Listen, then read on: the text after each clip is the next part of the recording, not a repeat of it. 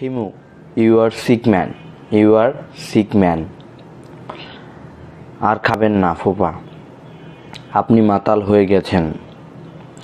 কি করে বুঝলে মাতাল হয়ে গেছি? কি করে বুঝলে? মাতালরা প্রতিটা বাক্য দুবার করে বলে। আপনিও তাই করছেন। আপনি বাথরুমে গিয়ে বমির চেষ্টা করুন। বমি করলে ভালো লাগবে।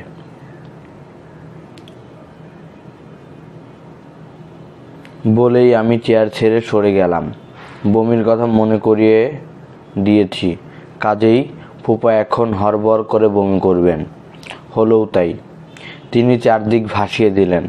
ওয়াক ওয়াক শব্দে ফুপু ছুটে এলেন। তিনি তার সাজানো ঘরের অবস্থা দেখে স্তম্ভিত। ফুপাকে দেখে মনে হচ্ছে তার নাড়িভুড়ি উল্টে আসছে। হঠাৎ হয়তো দেখব বমির সঙ্গে তার পাকিস্তলি বের হয়ে আসছে। সেই দৃশ্য খুব সুখকর হবে না। আমি বারান্দায় চলে এলাম। রিঙ্কি ছুটে এসেছে বাদলে এসেছে। ফোপা, সি, ফুপা, সি সি, চি চি করে বলছেন, সুরমা, আমি মরে যাচ্ছি। ও সুরমা, আমি মরে যাচ্ছি। বমি করতে করতে কোনো মাতাল মারা যায় বলে আমার জানা নেই। কাজেই আমি রাস্তায় নেমে এলাম। সিগারেট কেনা দরকার। আকাশে মেঘের আনাগোনা। বৃষ্টি হবে কি না কে জানে। হলে ভালোই হয়। এই বছর এখন বৃষ্টি ভেজা হয়নি। নবধারা জলে স্নান বাকি আছে। সিগারেটের সঙ্গে জর্দা দেয়া দুটো পান কিনলাম।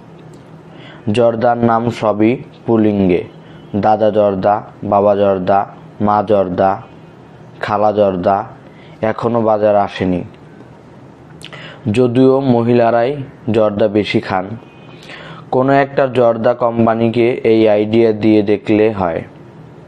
প্রথমবার ঢোকার সময় ফুপুকে যত গম্ভীর দেখলাম, দ্বিতীয়বারে তার চেয়েও বেশি গম্ভীর মনে হয়। ফুপু কোমরে হাতি দিয়ে দাঁড়িয়ে, হাত হাত দিয়ে দাঁড়িয়ে। কাজের মেয়ে বালতি আর ঝাঁটা হাত হাতে যাচ্ছে। কাজের ছেলেটি হাতে ফিনাইল। ফুপুর কিছুটা সূচিবায়ুর মতো আছে। আজ সার রাতি বোধ হয় ধোয়াধুয়ি চলবে। ফুপু বললেন, তুই তাহলে আছিস? আমি ভাবলাম চলে গিয়েছিস। পান কিনতে গিয়েছিলাম। ফুপার অবস্থা কি? অবস্থা কি জিজ্ঞেস করছিস? লজ্জা করে না? তোর সামনে গিলল, তুই একবারও না করতে পারলি না? চাকর বাকর আছে, কি লজ্জার কথা। তুই কি আজ এখানে থাকবি? হ্যাঁ। এখানে থাকার তোর দরকারটা কি? এত রাতে যাব কোথায়? ফুপু সবার ঘরের দিকে রওনা হলেন। টেলিফোনে ক্রমাগত রিং হচ্ছে। এগিয়ে গেলাম টেলিফোনের দিকে। রিঙ্কির ঘর। রিঙ্কির ঘর পর্যন্ত টেলিফোন নেওয়া যায়নি। তার এত লম্বা নয়। টেলিফোন বারান্দায় রাখা। আমি রিসিভার তুলতেই ওপাশ থেকে উদ্বিগ্ন গলা পাওয়া গেল। এটা কি রিঙ্কির বাসা? হ্যাঁ।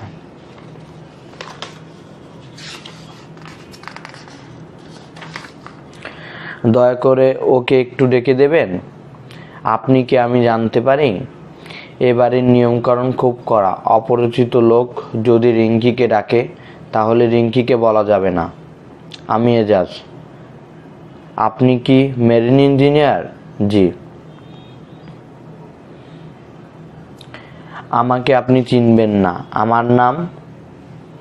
আপনি কে তা আমি বুঝতে পেরেছি। আপনি হচ্ছেন হিমু ভাই। আমি সত্যি সত্যি চমকিত হলাম। আমি সত্যি সত্যি চমৎকৃত হলাম। এর মধ্যে রিঙ্কি আমার গল্প করে ফেলেছে। এমনভাবে গল্প করেছে যে, ভদ্রলোক চট করে আমার কয়েকটা বাক্যতেই আমাকে চিনে ফেললেন। ভদ্রলোকের বুদ্ধি তো ভালোই, এমন বুদ্ধিমান একজন মানুষ রিঙ্কির মতো গাধা টাইপের একটি মেয়ের সঙ্গে জীবন কি করে টেনে নেবে কে জানে। Hello hello. লাইন কি কেটে গেল? না, কাটেনি। আপনি কি হিমু ভাই? হ্যাঁ। রিঙ্কি বলেছে, আপনারা নাকি অলৌকিক সব ক্ষমতা আছে। কী রকম ক্ষমতা? প্রফেটিক ক্ষমতা। আপনি নাকি ভবিষ্যতের কথা বলতে পারেন। আপনি যা বলেন তাই নাকি হয়। আমি চুপ করে রইলাম। এই জাতীয় প্রসঙ্গ এলে চুপ করে থাকাই নিরাপদ। হ্যাঁ বা না বললেই তর্কের মুখোমুখি হতে হয়। তর্ক করতে আমার ভালো লাগে না। হ্যালো? হ্যালো? লাইনটা ডিস্টার্ব করছে। হ্যালো, হিমু ভাই, বলুন। আপনি কি দয়া করে একটু রিঙ্কিকে? ওকে, তো দেওয়া যাবে না। ও আশপাশে নেই। বাবার সেবা করছে, উনি অসুস্থ। অসুস্থ? কি বলছেন? সিরিয়াস কিছু? সিরিয়াস বলা যেতে পারে। বলেন কি? আমি আসব? আমি কয়েক মুহূর্ত দ্রুত চিন্তা করে বললাম, আসতে অসুবিধা হবে না তো? না না, অসুবিধা কি? আমার গাড়ি আছে। আকাশের অবস্থা ভালো না। ঝড়ো বৃষ্টি হতে পারে। হোক, বিপদের সময় উপস্থিত না থাকলে কি করে হয়? তা তো বটেই। আপনি এখনই রওনা না হয়ে ঘন্টাখানিক পরে আসুন। কেন বলুন তো? এমনি বললাম। ঠিক আছে ঠিক আছে। আপনার কথা অগ্রাহ্য করব না। যেসব কথা আমি শুনেছি মাই গড আপনি দয়া করে আমার সম্পর্কে কিছু বলবেন? মাই আর্নেস্ট রিকোয়েস্ট আচ্ছা বলব। হিমু ভাই, তাহলে রাখি। আর ইয়ে আমি যে আসছি, এটা রিঙ্কিকে বলবেন না। একটা সারপ্রাইজ হবে। আমার টেলিফোন বেদি আছে। একবার টেলিফোন কারোর সঙ্গে কথা বললে আবার অন্য কারোর সঙ্গে কথা বলতে ইচ্ছে করে। রূপাদের বাসায় টেলিফোন করলাম। রূপার বাবা ধরতেই বল- বললাম আচ্ছা এটা কি রেলওয়ে বুকিং? রূপার বাবা বললেন, জি না। আপনার রং আপনার রং নাম্বার হয়েছে। তখন আমি বললাম, জাস্ট ওয়ান মিনিট, রূপা কি জেগে আছে? রূপার বাবার হাই প্রেশার এবং এই জাতীয় কিছু বোধহয় আছে। অল্পতেই রেগে গিয়ে এমন হইচই শুরু করেন যে বলার না। আমার কথাতেও তাই হলো। তিনি চিরচিরিয়ে উঠলেন, কে? কে? এই ছোকরা, তুমি কে? তিনি খুব হইচই করতে লাগলেন। আমি রিসিভার রেখে দিলাম। রূপার বাবা নিশ্চয় সবাইকে ডেকে এই ঘটনা বলবেন। রূপা সঙ্গে সঙ্গে বুঝবে কে টেলিফোন করেছিল। সে হাসবে না, রাগ করবে, কে জানে। যেখানে রাগ করা উচিত, সেখানে সে রাগ করে না, হাসে। যেখানে হাসা উচিত, সেখানে সে রাগ করে। আমি ওয়ান সেভেন রিং করে জাস্টিস এম শোভানের বাসা চাইলাম। সম্ভব হলে মীরা বা মিরুর সঙ্গেও কথা বলা যাবে। কি বলব? ঠিক করা হলো না। যা মনে আসে তাই বলব। আগে থেকে ভেবে চিনতে কিছু বলা আমার স্বভাবে নেই। হ্যালো, কে? মীরা? হ্যাঁ আপনি কে বলছেন? আমার নাম টুটুল। কে? অনেকক্ষণ চুপচাপ কাটাল কাটলো। মনে হচ্ছে মীরা ঘটনার আংশিকতার বিচলিত। আমার মনে হয় কথা বলবে কি বলবে না বুঝতে পারছে না। ভুলে গেছেন?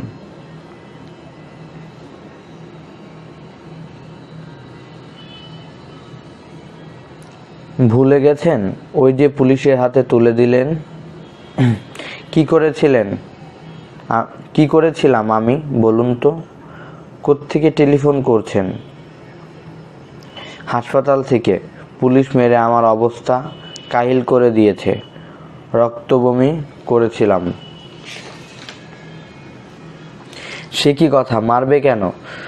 পুলিশের হাতে আসামি তুলে দেবেন আর পুলিশ আসামিকে কোলে বসিয়ে মন্ডা খাওয়াবে? আমি তো আপনাদের কোনোই ক্ষতি করিনি। গাড়িতে ডেকেছেন, উঠেছি। তাছাড়া আপনারা টুটুল টুটুল করছিলেন। আমার ডাকনামও টুটুল। আপনি কিন্তু বলেছেন, আপনার নাম টুটুল নয়। হ্যাঁ বলেছিলাম। কারণ বুঝতে পারছিলাম আপনি অন্য টুটুলকে খুঁজছিলেন, যার কপালে একটা কাটা দাগ। ওপাশে অনেকক্ষণ কোনো কথা শোনা গেল না। অন্ধকারে ঢিল ছুঁড়েছিলাম, মনে হচ্ছে লেগে গেছে।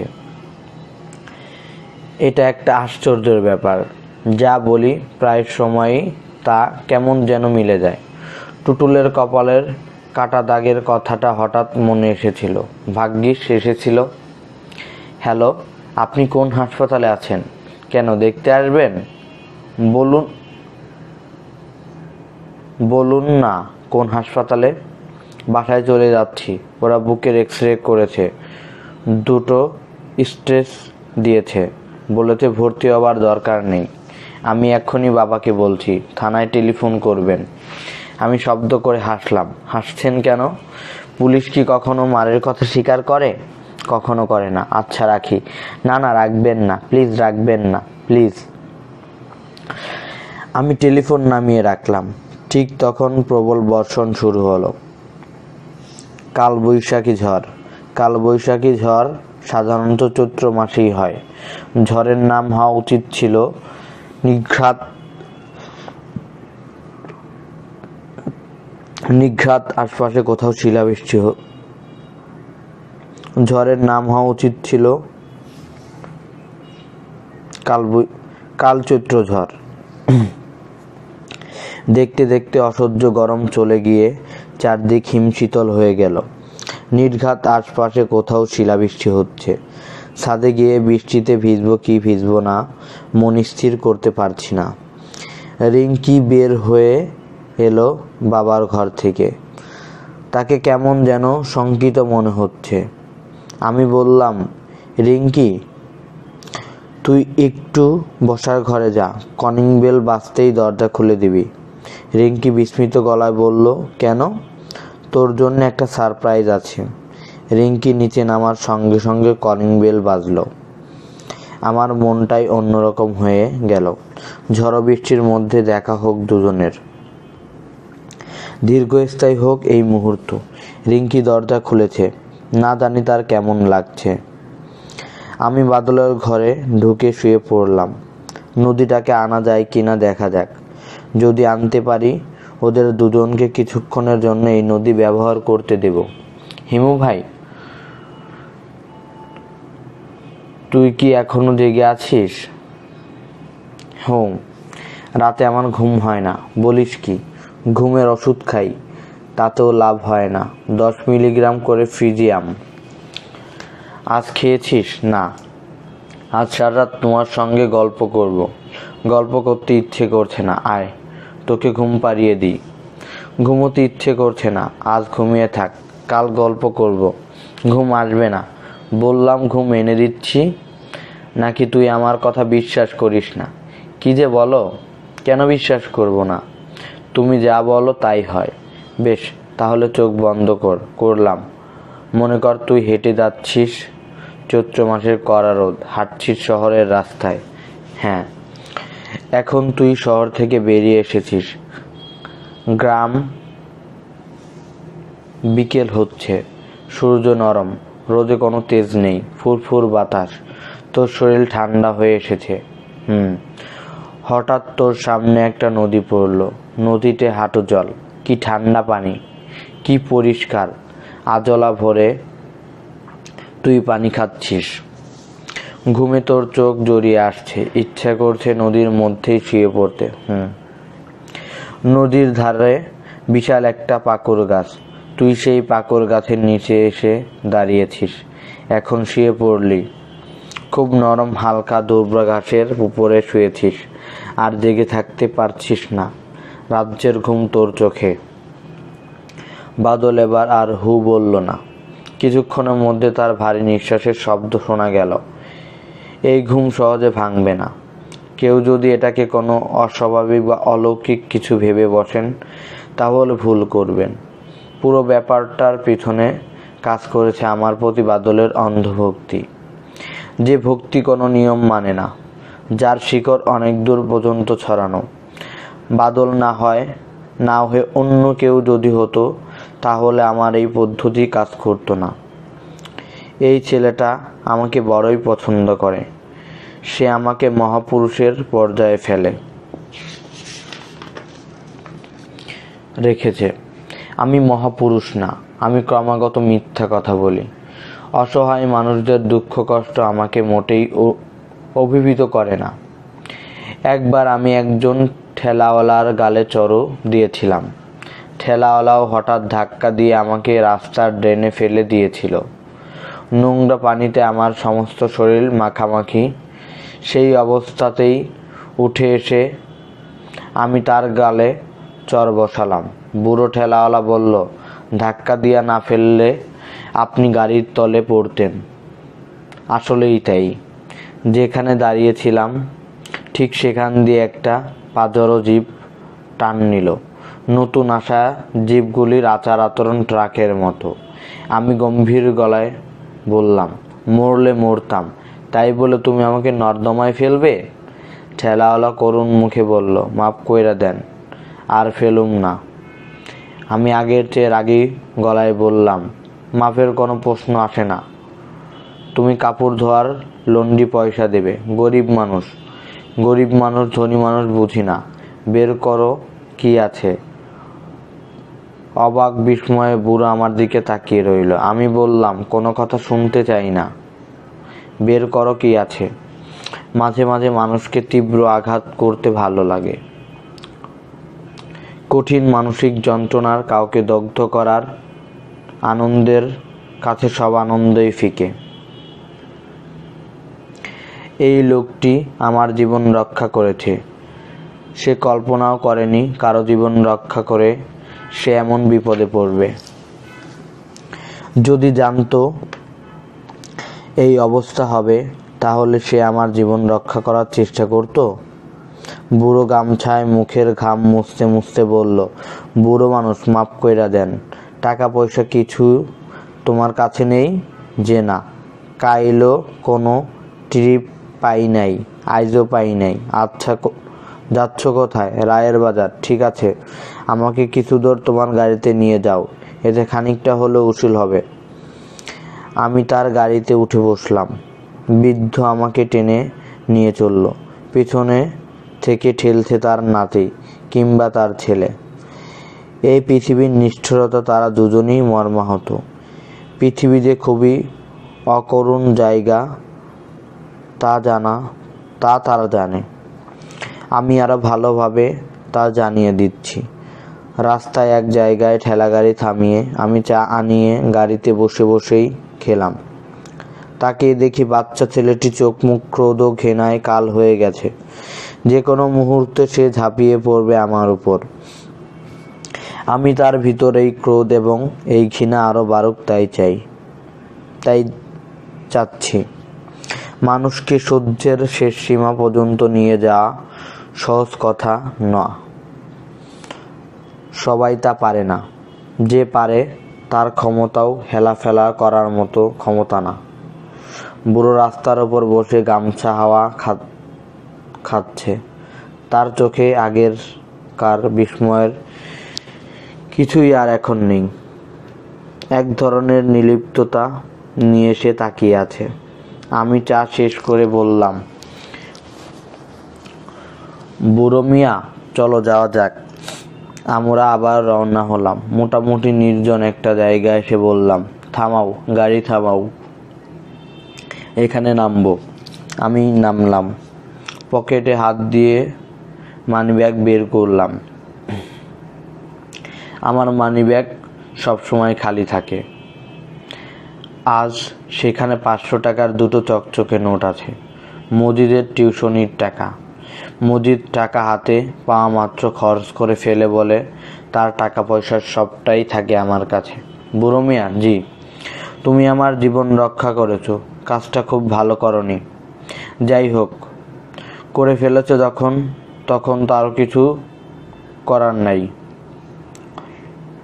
তোমাকে ধন্যবাদ। দেখে আরও কিছুদিন বেঁচে থাকতে কেমন লাগে। তোমাকে আমি সামান্য কিছু টাকা দিতে চাই। এই টাকাটা আমার জীবন রক্ষার জন্যে না। তুমি যে কষ্ট করে রোদের মধ্যে আমাকে টেনে এত দূর আনলে তার জন্যে। পাঁচশো। তোমার। পাঁচশো এই ছেলেটার।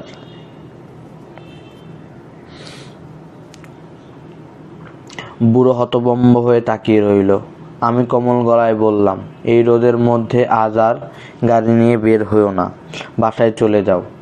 বাসায় গিয়া বিশ্রাম করো বুড়োর চোখ দিয়ে পানি পড়ছে।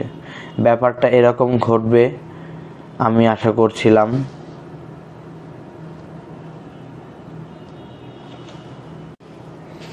ব্যাপারটা এরকম ঘটবে, আমি তাই আশা করেছিলাম। বাচ্চা ছেলেটির মুখে ক্রোধ ও ঘৃণার চিহ্ন এখন আর নেই। তার চোখ এখন অসম্ভব কমল। আমি বললাম, এই তোর নাম কি রে? লালটু মিয়া, প্যান্টের বোতাম লাগা বেটা, সব দেখা যাচ্ছে। লালটু মিয়া হাত দিয়ে প্যান্টের ফাঁকা অংশ ঢাকতে ঢাকতে বলল, বোতাম নাই, তাহলে তো সব সমস্যার সমাধান। হাত সরিয়ে ফেল। আলো হাওয়া যাক। লালটু মিয়া হাসছে হাসছে বুড়ো ঠেলাওয়ালা। তাদের কাছে এখন আমি তাদের একজন। বুড়ো বলল, আব্বাজি, আসেন। তিনজনে মিলা চা খাই। তিয়াস লাগছে। পয়সা কে দেবে? তুমি? আমার হাতে কিন্তু আর একটা পয়সাও নেই। বুড়ো আবার হাসলো, আমরা একটা চায়ের দোকানের দিকে রওনা হলাম। নিজেকে সেই সময় মহাপুরুষ বলে মনে হচ্ছিল। আমি মহাপুরুষ নই। কিন্তু এই ভূমিকায় অভিনয় করতে আমার বড় ভালো লাগে। মাঝে মাঝে এই ভূমিকায় আমি অভিনয় করি। মনে হয় ভালোই করি। সত্যিকার মহাপুরুষরাও সম্ভবত এত ভালো করতেন না। আমি অবশ্য এখন পর্যন্ত কোনো মহাপুরুষ দেখিনি। তাদের চিন্তা ভাবনা কাজকর্ম কেমন তাও জানি না। মহাপুরুষদের কিছু জীবনী পড়েছি। সেই সব জীবনেও আমাকে আকৃষ্ট করতে পারেনি। টলস্টয় তেরো বছরের একজন বালিকাকে ধর্ষণ করেছিলেন। সেই ভয়াবহ ঘটনা তিনি স্বীকার করেছেন। আমরা সবাই তো আমাদের ভয়ঙ্কর পাপের কথা স্বীকার করি না। আমার মতে মহাপুরুষ হচ্ছে এমন একজন যাকে পৃথিবীর কোনো মালিন্য স্পর্শ করেনি। এমন কেউ কি সত্যি সত্যি জন্মেছে এই পৃথিবীতে? ঘুমোতে চেষ্টা করছি। ঘুমোতে পারছি না। অসহ্য গরমে ঘুমোতে আমার কষ্ট হয় না। কিন্তু আজকের এই ঠান্ডা ঠান্ডা হাওয়ায় ঘুম আসছে না। শীত শীত লাগছে। খালি গায়ে থাকার জন্যে লাগছে। খালি গায়ে থাকার কারণ আমার পাঞ্জাবি এখন বাদলের গায়ে। শুয়ে শুয়ে ছেলেবেলার কথা ভাবতে চেষ্টা করছি। বিশেষ কোনো কারণে নয়। ঘুমোবার আগে কিছু একটা নিয়ে ভাবতে হয় বলেই ভাবা। আমার শৈশবে যাদের সঙ্গে কেটেছে তারা কেমন? জন্মের সময় আমার মা বাবা, আমার মা মারা যান। কাজেই মার কথা কিছুই জানি না। তিনি দেখতে কেমন তাও জানি না। অবিশ্বাস্য হলেও সত্যি যে তার কোনো ছবিও নেই। বাবা মারা যান মার ন বছর বয়সে। বাবা মারা যান আমার ন বছর বয়সে।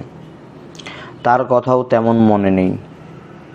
তার কথা মনে পড়লে একটা উদ্বিগ্ন মুখ মনে আসে। সেই মুখে বড় বড় দুটি চোখ। ভারী চশমায় ঢাকা বলে সেই চোখের ভাবটাও ঠিক বোঝা যায় না। মনে হয় পানির ভিতর থেকে কেউ আমার দিকে তাকিয়ে আছে। বাবার উদ্বিগ্ন গলা। কি রে, তোর ব্যাপারটা কি বলতো? যত্ন? যত্ন হচ্ছে না। আমি তো প্রাণপণ করেছি। অবশ্য ছেলে মানুষ করার কায়দা কানুনও আমি জানি না। কী যে ঝামেলায় পড়লাম, তোর অসুবিধাটা কি বলতো? পেট ব্যথা করছে। বাবার বোধহয় ধারণা ছিল শিশুদের একটি মাত্র সমস্যা, পেটে ব্যথা। তারা যখন মন খারাপ করে বসে থাকে, তখন বুঝতে হবে তার পেট ব্যথা করছে। গভীর রাতে ঘুম ভেঙে কোনো শিশু যদি জেগে উঠে কাঁদতে থাকে, তখন বুঝতে হবে তার পেটে ব্যথা। বাবার কাছ থেকে কত অসংখ্যবার যে শুনেছি, কিরে হিমু, তোর কি পেটে ব্যথা নাকি? মুখটা এমন কালো কেন? কোন জায়গায়টায় ব্যথা দেখি? বাবা যে একজন পাগল ধরনের মানুষ, এটা বুঝতে আমার তেমন দেরি হয়নি। শিশুদের বোধ শক্তি ভালো। পাগল না হলে নিজের ছেলের নাম কেউ হিমালয় রাখে? স্কুলে ভর্তি করতে নিয়ে গেলেন, হেড স্যার গম্ভীর গলায় বললেন, ছেলের নাম কি বললেন? হিমালয়? জি। আহমেদ বা মোহাম্মদ, এইসব কিছু আছে? জি না, শুধুই হিমালয়। হেড স্যার অত্যন্ত গম্ভীর গলায় বললেন, ও আচ্ছা। বাবা উৎসাহের সঙ্গে বললেন, নদীর নামে মানুষের নাম হয় ফুলের নামে হয়, গাছের নামে হয়। হিমালয়ের নামে নাম হতে দোষ কি? হিমালয়ের নাম রাখার বিশেষ কোনো তাৎপর্য কি আছে? অবশ্যই আছে। যাতে এই ছেলের হৃদয় হিমালয়ের মতো বড় হয়। সেই জন্য এই নাম। তাহলে আকাশ নাম রাখলেন না কেন? আকাশ তো আরও বড়। বড় হলেও তা ধরা ছোঁয়ার বাইরে। হিমালয়কে স্পর্শ করা যায়। কিছু মনে করবেন না। এই নামে স্কুলে ভোর, ছেলে ভর্তি করা যাবে না। এমন কোনো আইন আছে যে হিমালয় নাম রাখলে সেই ছেলে স্কুলে ভর্তি হতে পারবে না? আইন টাইন আমি জানি না। এই ছেলেকে আমি স্কুলে নেব না। কেন? সিট নেই। আগে তো বললেন সিট আছে, এখন নেই। শিক্ষক হয়ে মিথ্যা, শিক্ষক হয়ে মিথ্যা কথা বলছেন, তাহলে তো এখানে কিছুতেই ছাত্র ভর্তি করা উচিত না। মিথ্যা কথা বলা শিখবে। খুবই ভালো কথা, তাহলে এখন যান। এই দীর্ঘ কথোপকথনের কিছুই আমার মনে নেই। মনে থাকার কথাও নয়। বাবা প্রতিটা ঘটনা লিখে রেখে গেছেন। বলে বলতে পারলাম। বাবার মধ্যে গবেষণাধর্মী একটা স্বভাব ছিল। অতি তুচ্ছ বিষয় নিয়ে পাতার পর পাতা পরিষ্কার অক্ষরে লিখে গেছেন। তার বিদ্যা ছিল ইন্টারমিডিয়েট পর্যন্ত। ইন্টারমিডিয়েট পরীক্ষা দেবার পর রাগ করে বাড়ি থেকে বের হয়ে আসেন। আর ফিরে যাননি। জীবিকার জন্য ঠিক কী করতেন তা পরিষ্কার নয়। জ্যোতির্বিদ্যা সমুদ্রজ্ঞান ও লক্ষণ বিচার। এই জাতীয় বইয়ের স্তূপ দেখে মনে হয় মানুষের হাত টাত দেখতেন একটা প্রেসের সঙ্গেও সম- সম্ভবত যুক্ত ছিলেন। কয়েকটা নোট বইও লিখেছিলেন। নোটস অন প্রবেশিকা, সমাজবিদ্যা, এরকম একটা বই। তার পরিবারে কারও সঙ্গেই তার কোনো যোগাযোগ ছিল না। তাদের সম্পর্কে আমি জানতে পারি বাবার মৃত্যুর পর। গুরুতর অসুস্থ অবস্থায় বাবা তার বড় বোনকে একটা চিঠি লিখে জানান যে, তার মৃত্যু হলে আমাকে যেন আমার মামার বাড়ি পাঠানো হয়। এটাই তার নির্দেশ। এর অন্যথা যেন না হয়। চিঠি পাওয়ার পরপরই বাবার দিকের আত্মীয় স্বজন আমাদের ছোট বাসা ভর্তি হয়ে যায়। আমার দাদা জানকে আমি তখনই প্রথম দেখি। সুকাঠাম স্বাস্থ্যের টকটকে গৌরবর্ণের একজন মানুষ। চেহারা কোথায় যেন জমিদার জমিদার একটা ভাব আছে। তিনি আমার মরণাপন্ন বাবার হাত ধরে কাঁদো কাঁদো গলায় বললেন, আমার ভুল হয়েছে। আমি বাবা তোর কাছে ক্ষমা চাচ্ছি। যথেষ্ট পাগলামি হয়েছে, আর না। আমার বাবা দীর্ঘ নিঃশ্বাস ফেলে বললেন আচ্ছা যাক, ক্ষমা করলাম। কিন্তু আমি চাই না আমার ছেলে আপনা, আপনাদের সঙ্গে মানুষ হোক। ও যাবে তার মামাদের কাছে। তার মামারা কি আমাদের চেয়ে ভালো? না, ওরা পিটার শ্রেণির। ওদের সঙ্গে থাকলে অনেক কিছু শিখবে। আমার দাদাদান এবার সত্যি সত্যি কেঁদে ফেললেন। বৃদ্ধ একজন জমিদার ধরনের মানুষ কাঁদছে। এই দৃশ্যটি সত্যি অদ্ভুত। তিনি কাঁদতে কাঁদতেই বললেন, তুই এক পাগল, তোর ছেলেটাকেও তুই পাগল বানাতে চাস? এই নিয়ে আপনাদের সঙ্গে কথা বলতে চাই না। আমাদের বড়লোক আত্মীয় স্বজনরা অত্যন্ত বিস্ময়ের সঙ্গে আমাদের বাসার সাজসজ্জা দেখতে থাকেন। এক ফাঁকে ফাঁকে বাসার সঙ্গে আমার দাদাদানের কিছু কথাবার্তা হলো। বাবার সঙ্গে কিছু কথাবার্তা হলো। যেমন, ঢাকায় কতদিন ধরে আছিস? প্রায় তিন বছর। এর আগে কোথায় ছিলি? তা দিয়ে আপনার দরকার কি? তোর মা যখন অসুস্থ হয়, তখন সব খবরের কাগজ তোর ছবি ছাপিয়ে বিজ্ঞাপন দিয়েছিলাম। খবরের কাগজ আমি পড়ি না। আমার বড় ফুপু এক, এই পর্যায়ে হাত ইশারা করে আমাকে ডাকলেন। আদরে গলায় বললেন, খোকা, তোমার নাম কি? আমি বললাম, হিমালয়। সবাই মুখ চাওয়াচাই করতে লাগল। দাদা দুঃখিত গলায় বললেন, ছেলের নাম কি সত্যি সত্যি হিমালয় রেখেছিস? হো। বাবার সমস্ত আপত্তি অগ্রাহ্য করে তাকে বড় একটা ক্লিনিকে ভর্তি করা হলো। আপত্তি করার মতো অবস্থাও তার ছিল না। কথা প্রায় বন্ধ হয়ে গিয়েছিল। দু একটা ছোটোখাটো বাক্য বলতেও তার অসম্ভব কষ্ট হতো। তাকে বাইরে চিকিৎসার জন্যে পাঠানো হবে। এমন কথা শোনা যেতে লাগল। বা বাবা তাদের সেই সুযোগ দিলেন না। ক্লিনিকে ভর্তি হবার নদিনের নদিনের দিন মারা গেলেন। সজ্ঞানে মৃত্যু যাকে বলে। মৃত্যুর আগ মুহূর্তে টনটনে জ্ঞান ছিল। আমাকে বললেন, তোমার জন্য কিছু উপদেশ লেখে, রেখে গেছি। সেগুলি মন দিয়ে পড়বে। তবে লেখাটা অসম্পূর্ণ। সম্পূর্ণ করবার সময় হলো না। আমার দিকের কোনো আত্মীয় স্বজনের সঙ্গে তোমার যোগাযোগ রাখবে না এবং তাদের সাহায্য নেবে না। তবে ষোলো বছর পর তুমি যদি মনে করো আমার সিদ্ধান্ত ভুল, তখন তুমি নতুন করে সিদ্ধান্ত নিতে পারবে। এর আগ পর্যন্ত মামাদের সঙ্গে থাকবে। মনে রাখবে, তোমার মামারা পিচার শ্রেণির। পিচার শ্রেণি মানুষদের সংস্পর্শে না এলে মানুষের সদ্গুণ সম্পর্কে ধারণা হবে না। ডাক্তার সাহেব এই পর্যায়ে বললেন, আপনি দয়া করে চুপ করুন, ঘুমাবার চেষ্টা করুন। বাবা শীতল গলায় বললেন, প্রতিপদ শুরু হয়ে গেছে, দ্বিতীয়বার আমার মৃত্যু হবার কথা। কাজেই আমার বিরক্ত, আমাকে বিরক্ত করবেন না। সবচেয়ে জরুরি কথাটাই আমার ছেলেকে বলা হয়নি। শোনো হিমু কোনো রকম উচ- উচ্চাং উচ্চাসা উচ্চাসা রাখবি না। টাকা পয়সা করতে হবে, বড় হতে হবে এই সব নিয়ে মোটেই ভাববি না। সমস্ত কষ্টের মূলে আছে আমাদের উচ্চাসা উচ- উচ্চাসা আমার উচ্চাসা ছিল বলে প্রথম দিকে খুবই কষ্ট পেয়েছি।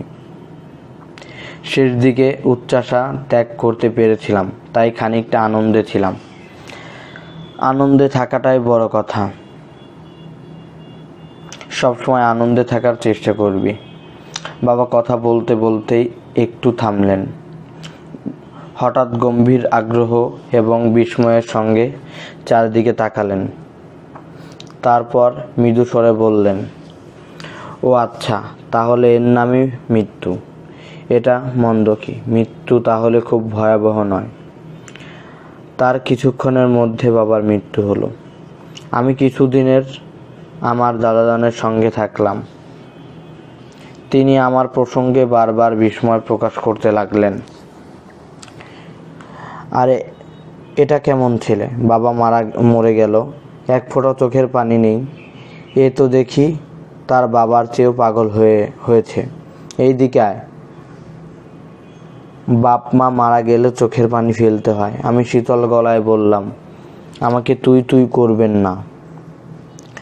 তিনি চোখ বড় বড় করে আমার দিকে তাকিয়ে রইলেন। দাদাদানের বাড়িটা বিশাল। সেই বিশাল বাড়ির দোতলায় একটা ঘর আমাকে দেয়া হলো। সেই ঘরে এই বাড়ির ছেলে মেয়ের জন্য সার্বক্ষণিক প্রাইভেট টিউটর থাকেন। তার নাম কিসমত মোল্লা। তিনি যখন শুনলেন, আমি কোনো স্কুলে পড়ি না, এতদিন বাবার কাছে পড়েছি, তখন একবার আকাশ থেকে পড়লেন। কি পড়েছো বাবার কাছে? ইংরেজি বাংলা অঙ্ক, ভূগোল আর নীতিশাস্ত্র। নীতিশাস্ত্র কি? কোনটা ভালো, কোনটা মন্দ? কোনটা ন্যায়, কোনটা অন্যায়? এইসব। Himu you are sick man you are sick man আর খাবেন না ফোপা আপনি মাতাল হয়ে গেছেন। কি করে বুঝলে মাতাল হয়ে গেছি? কি করে বুঝলে? মাতালরা প্রতিটা বাক্য দুবার করে বলে। আপনিও তাই করছেন। আপনি বাথরুমে গিয়ে বমির চেষ্টা করুন। বমি করলে ভালো লাগবে।